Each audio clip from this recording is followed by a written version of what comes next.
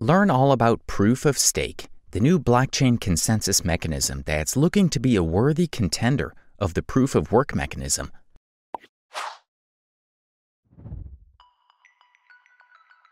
What are consensus mechanisms? Proof of work and proof of stake are both consensus mechanisms, which are methods for maintaining the integrity of a blockchain. Consensus is what solves the problem of double spending. If a cryptocurrency trader could spend coins more than once, the entire system would be jeopardized and susceptible to theft. This is a difficult challenge to solve, especially with online currencies that lack a central authority, such as a bank or government. Consensus mechanisms have been developed to keep track of how much currency or data each user within the same ecosystem has. Proof of stake. Proof of stake is similar to proof of work, both are used to attain consensus and keep the underlying blockchain secure. But there is one important difference. Proof of stake requires far less work to validate data blocks and thus requires less energy. In proof of stake, there is no race against the nodes to validate a transaction.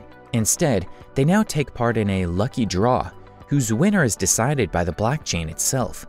The winner then validates the transaction and gets a much smaller reward for having consumed much lesser electricity.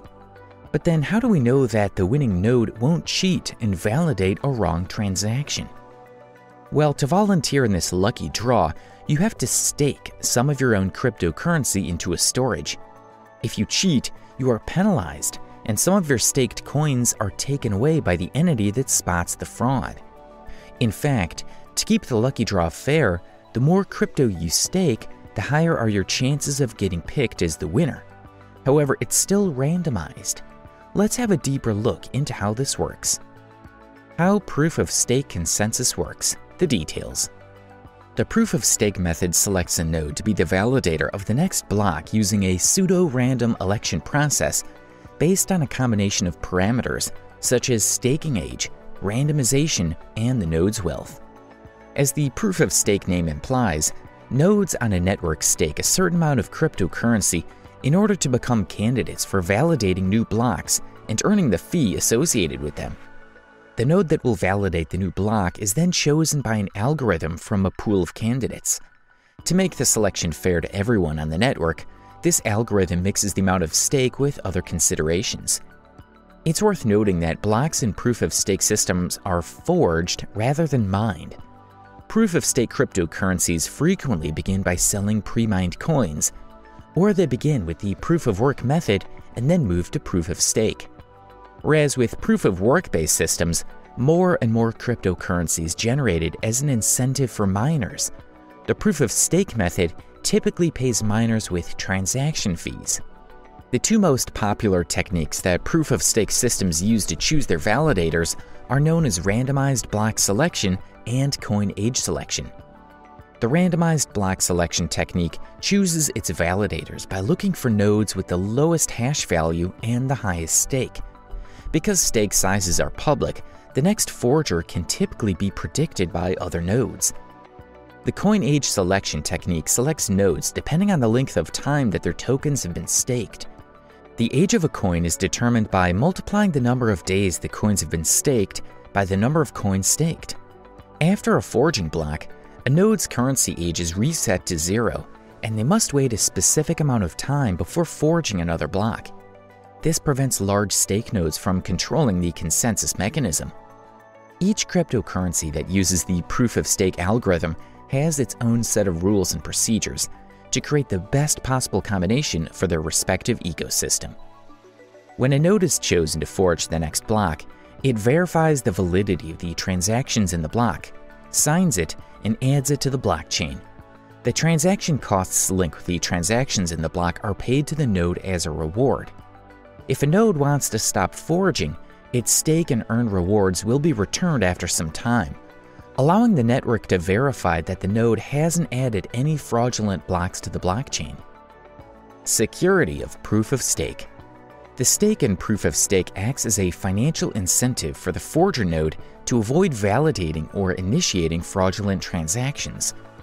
If a fraudulent transaction is detected by the networks, the forger node will lose a portion of its stake, as well as its right to participate as a forger in the future. As long as the stake is more than the reward, the validator will lose more coins in the event of a fraud attempt.